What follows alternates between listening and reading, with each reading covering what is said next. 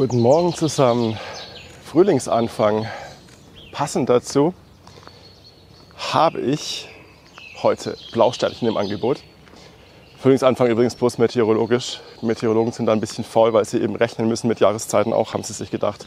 Wir fangen am 1. März mit dem Frühling an.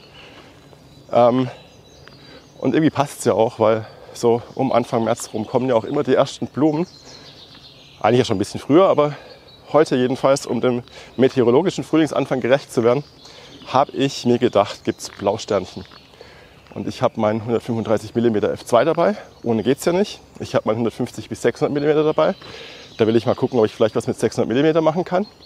Und ich habe mein gebraucht gekauftes 200 mm f2.8 von Canon dabei, das ich gestern schon mal verwendet habe und irgendwie nicht so ganz warm damit geworden bin. Also nicht falsch verstehen, es ist ein super Objektiv, es ist scharf, es macht auch irgendwie sonst so ein bisschen Spaß in der Verwendung. Aber ich glaube, der Abbildungsmaßstab ist mir dann doch ein bisschen zu klein. Also ich komme nicht so richtig nah ran. Nicht nah genug, ganz nah will ich ja nicht. Und ähm, ich bin mir nicht so ganz sicher, ob es von der Brennweite her genug ist, dass ich wirklich so denke, ja, das hat sich jetzt gelohnt, statt 135 als 200er zu verwenden. Oder ob da vielleicht doch ein bisschen mehr Brennweite nicht besser wäre, also 300 mm oder sowas. Ähm, ja, ich habe noch ein paar Tage Bedenkzeit. Mal schauen. Vielleicht kommt ja heute die Erleuchtung.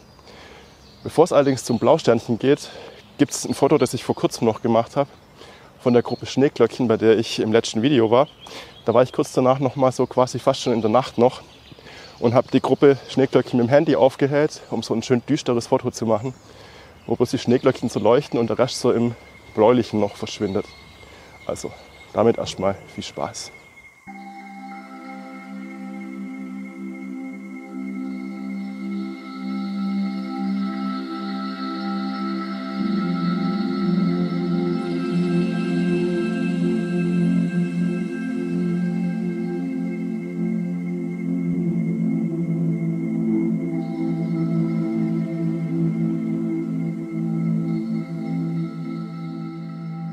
Na, das ist jetzt so ein bisschen blöd gelaufen.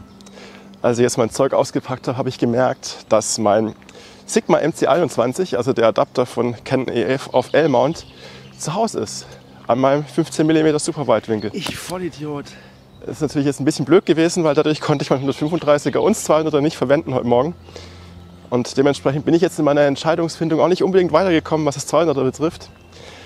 Aber ich habe ja zum Glück das 150 bis 600 dabei gehabt und habe dann einfach das verwendet, um zu fotografieren.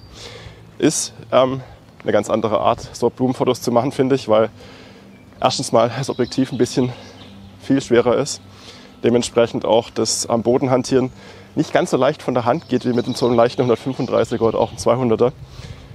Und ähm, außerdem ist natürlich der Abstand, den man von der Pflanze nehmen muss, nehmen will, wie auch immer, deutlich größer. Wobei das mit dem Abstand ja auch nicht wirklich ein Problem ist. Ist ja nicht so, als ob ich mit kürzeren Brennweiten immer direkt an der Pflanze kleben wird. Hängt ja auch ein bisschen davon ab, wie klein die Pflanze im Bild sein soll. Das Problem kann höchstens sein, dass äh, wenn zwischen Pflanze und Objektiv irgendwie dann zu viel Grünzeug ist, eine lange Brennweite das verhindert, dass man noch ein gutes Foto machen kann und eine kürzere Brennweite das noch ermöglicht. Da können 600 mm dann stören und 200 mm können gut sein. Kann allerdings natürlich auch genau andersrum sein, dass mit 135 mm zum Beispiel einfach noch der Himmel oben ins Bild guckt. Bei 600 mm ist davon eher nichts mehr zu sehen. Das war auch so ein bisschen der Grund, warum ich das 200 mm Objektiv haben wollte. Einfach, damit ich die Möglichkeit habe, ein bisschen weniger Hintergrund zu haben als im 135er.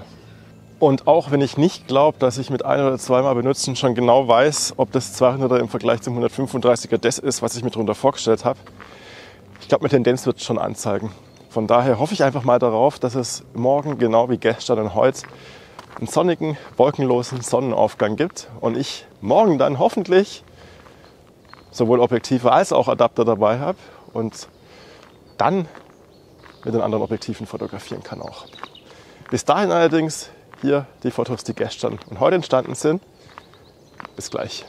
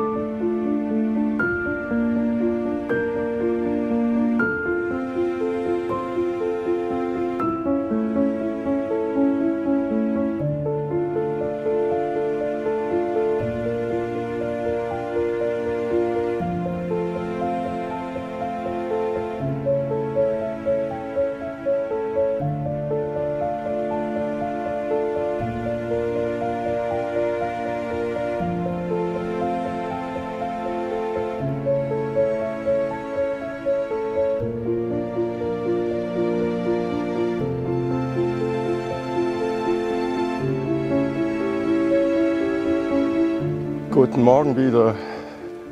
Es ist wieder einigermaßen klar. Bloß fast ganz klar. Da hinten sind so ein paar Wolken in Richtung Sonnenaufgang. Wobei die Sonne wahrscheinlich irgendwie ein bisschen recht weit links da aufgeht. Das heißt, das ist nicht ganz so schlimm. Vielleicht verpasse ich ein paar Sekunden, Minuten, Sonne, wie auch immer. Vielleicht das ganz tiefe Licht. Also, wenn die Sonne ganz tief steht. Aber mal schauen, nicht so schlimm. Wichtig ist vor allem, dass ich meinen Adapter dabei habe und meine beiden Objektive. Und falls die Sonne nicht mitmacht, ganz am Anfang, im Gegenlicht fotografieren, ein bisschen später macht auch Spaß. Gerade bei den Blausteinchen macht sich jetzt eigentlich auch immer ganz gut. Jetzt sollte ich aber erstmal zu den Blausteinchen kommen.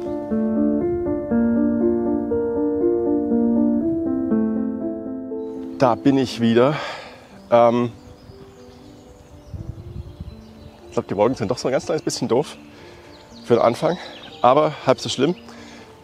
Der Anfang wird jetzt sowieso eher daraus bestehen, dass ich vermutlich nicht allzu viel filme, weil ich einfach mit meinem 135er Blausteinchen fotografieren will. Äh, auf die Art, wie ich es immer mache, einfach bodennah und gucken, welche Pflanzen sich anbieten und gucken, welche Position die beste ist und gucken, wie groß ich sie im Bild haben will und die ganzen Sachen, die man halt beachten sollte, wenn man Blumen fotografiert. Und weil das ja am Anfang, wenn die Sonne aufgeht, immer so ein bisschen stressig ist, werde ich da jetzt nicht viel filmen. Aber danach werde ich mich dann mal den 200er widmen und gucken, was ich damit machen kann.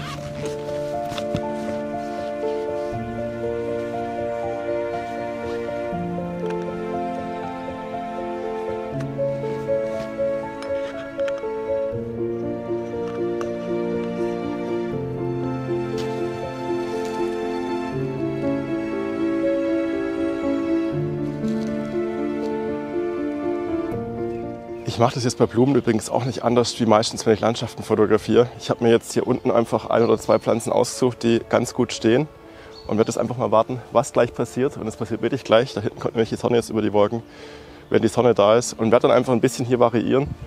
Ich kann jetzt sowieso nicht wirklich viel machen, weil ich an die Wege gebunden bin. Und so hier am Rand, da geht es halt, aber weiter innen, da wäre es wahrscheinlich vielleicht teilweise spannend. Da sieht man auch irgendwie ziemlich viele Blumen, aber da kann man halt nicht hingehen, was auch voll okay ist. Jedenfalls werde ich mal schauen, was die Sonne jetzt gleich mit meinen Pflanzen hier unten macht. Und dann vielleicht das ein oder andere Foto mit meinem 135er machen für den Anfang. Mal schauen.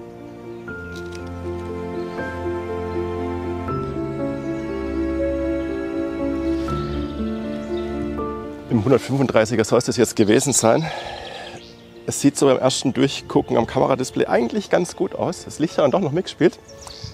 Ähm, ich werde jetzt das 200er drauf machen und euch so lange die Fotos zeigen, die bisher mit dem 135er entstanden sind. Viel Spaß damit!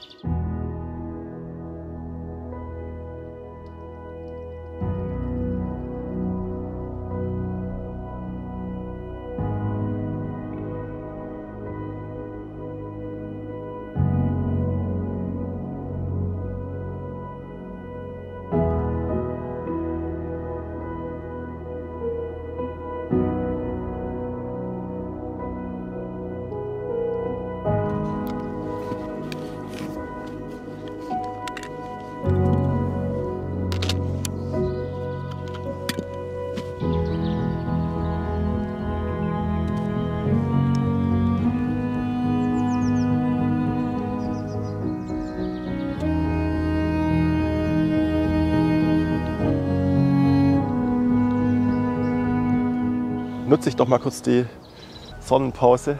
Versteckt sich gerade so ein bisschen hinter einer Wolke.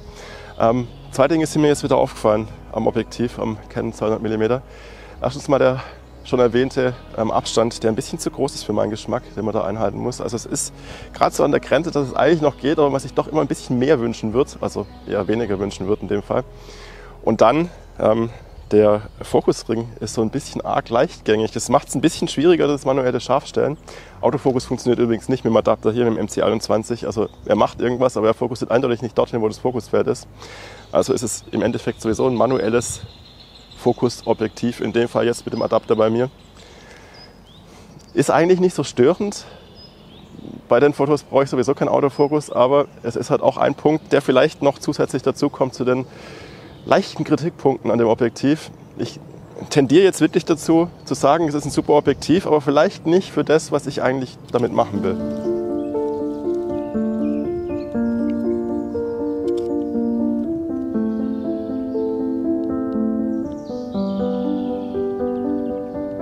Die Sonne scheint so keine Lust mehr zu haben aktuell, beziehungsweise scheinen eher ein paar Wolken da zu sein, die die Sonne ärgern wollen. Ich habe meine Sachen jetzt einfach weggepackt und beende den heutigen fotografischen Vormittag, morgen eher. Ähm, aber ich glaube, ich habe meine Entscheidung getroffen, was das 200er betrifft. Es ist im Endeffekt einfach zu viel Kompromiss, um den doch nicht ganz günstigen Preis von 550 Euro, den es dann doch auch gebraucht kostet, zu rechtfertigen. Also zumindest für mich. Wenn es jetzt 200 Euro kosten wird, würde ich denken, okay, das behalte ich. Aber bei 550 Euro mit dem Makel, dass ich äh, eine eigentlich zu hohe Nahgrenze habe und dann zusätzlich einen Autofokus nicht richtig verwenden kann, was ja wie gesagt nicht wirklich schlimm ist, aber manchmal doch ganz praktisch wäre. Und dann noch der manuelle Fokusring, der so ein bisschen leichtgängig und vor allem im Bereich, wenn es nah geht, auch ein bisschen zu kurze Wege hat. Es ist es mir, glaube ich, dann doch nicht wert. Also werde ich wohl einfach weitersuchen müssen. Mal schauen, was ich finde. Es gibt ja Massen von Objektiven. Und man kann ja zum Glück Massen von Objektiven auch adaptieren. Also gibt es gleich noch viel mehr Massen von Objektiven. Naja, es hat sich jedenfalls dann gelohnt, heute Morgen unterwegs zu sein, weil das wollte ich ja eigentlich rausfinden. Also das Objektiv ist zwar sicher super, aber für den Einsatzzweck, den ich dann habe, doch nicht ganz optimal. Ich zeige euch jetzt trotzdem noch die Fotos, die ich damit gemacht habe. Oder das Foto, ich weiß gar nicht, wie viele jetzt gut geworden sind. Ihr werdet es gleich sehen. Vorher aber vielen Dank fürs Anschauen. Ich hoffe, ihr hattet ein bisschen Spaß und sehen uns dann hoffentlich nächsten Mittwoch wieder. Also macht's gut. Danke fürs Anschauen. Tschüss und jetzt noch das oder die Fotos.